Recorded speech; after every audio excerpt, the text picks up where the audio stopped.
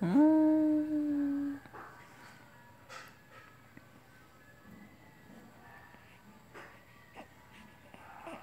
god, my, my